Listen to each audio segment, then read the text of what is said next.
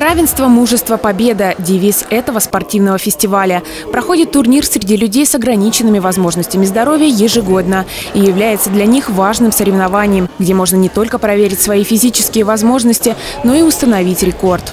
Такие соревнования ну, это возможность вырваться из дома, да, это трени... возможность ходить на, на тренировки, да, то есть, как правило, большие достижения начинаются с маленького, да, то есть маленькие районные городские соревнования дают стимул, и человек идет дальше, то есть развивается, и, э, возможно, в будущем будет участвовать в международных мировых соревнованиях. Турнир проводится в двух возрастных категориях. Среди юношей и девушек до 16 лет включительно, для мужчин и женщин от 17 лет и старше. Среди участников были и ребята из Одинцовской школы «Надежда». Самое главное, им нравится быть в массе, потому что они себя реализовывают. И они таким образом понимают, что они не брошенные дети, а они конкретно э, идут к своей цели. А цель у нас какая? Быть здоровыми.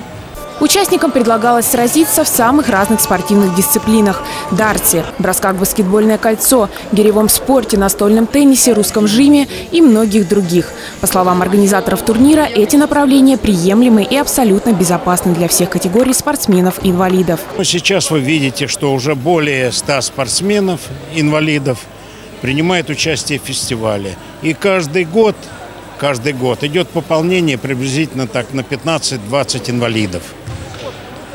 Поэтому мы рады всем инвалидам, рады, что они, у них созданы все условия для занятий.